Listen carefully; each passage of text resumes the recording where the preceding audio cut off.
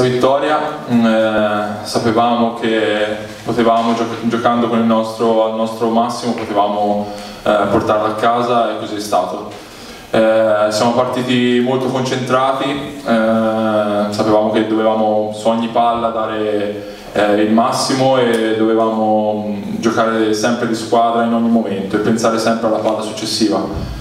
E siamo stati bravi soprattutto in quel secondo set quando loro sono andati avanti di qualche punto e noi siamo rimasti lì con la testa bassa e, e punto dopo punto ci siamo portati avanti.